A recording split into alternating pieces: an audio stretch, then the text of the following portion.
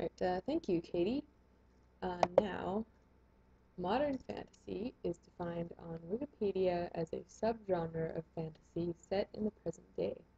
It's also referred to as contemporary or indigenous fantasy, and a further branch of this subgenre, which is quite popular, is urban fantasy, modern fantasy stories that take place in cities. Now, works of modern fantasy are set in the real world, often magic and magical creatures exist in it, or they are leaking over from alternate worlds.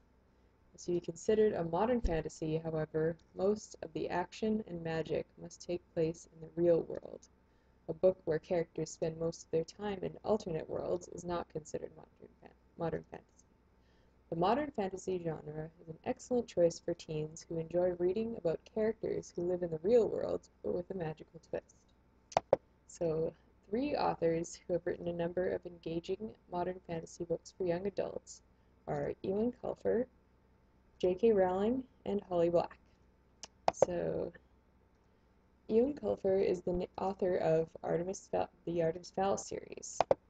A series about an Irish 12-year-old of the same name, who's perhaps too smart for his own good.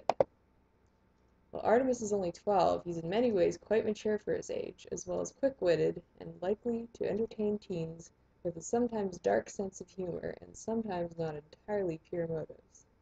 Over the series, he undergoes quite a complex transformation from a young man who is quite selfish and only out to get what he wants, the magic of the fairies, to someone who is actually able to make friends with fairies and tear himself away from the many undeniably cool technical gadgets his enormous wealth allows him to purchase.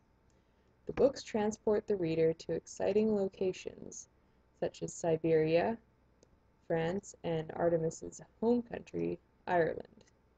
There have been talks of the series being made into films for quite a long time now, but nothing concrete has come of it yet. there are some graphic novels of the books, and the author himself has described the series as Die Hard with fairies.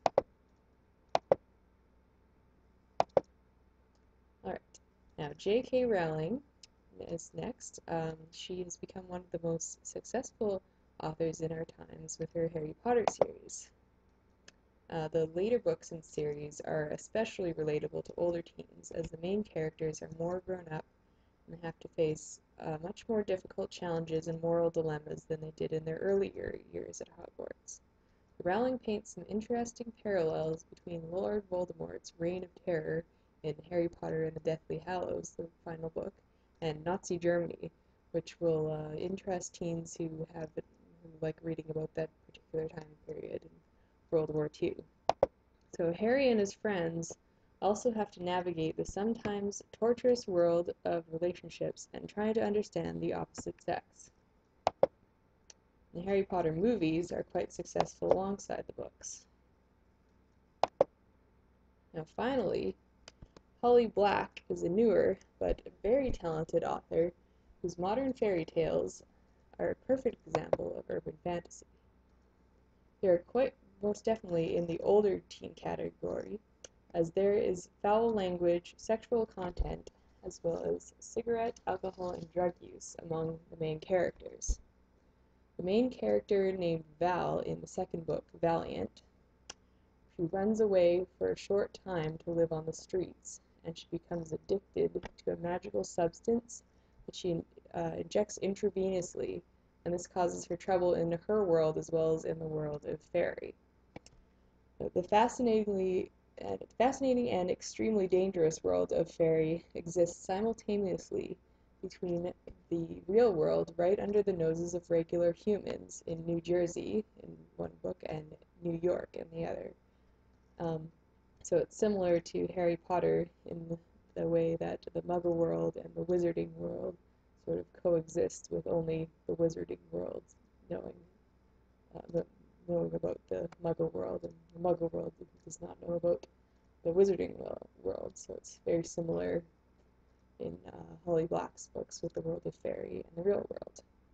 There's a constantly shifting balance between the Seelie and the Unseelie courts uh, in, in Holly Black's books, and neither side is proclaimed to be evil or good. Both sides have complex characters that often have hidden motives. The books are filled with gritty detail and relationships between humans and fairies. A human girl, Kaye, finds out that she's not who she thought she was and embarks on, on a potentially dangerous relationship with a mysterious fairy in the first book, Tithe. Alright, now Lisa will bring you to our presentation, uh, uh, bring our presentation to its conclusion. Thank you.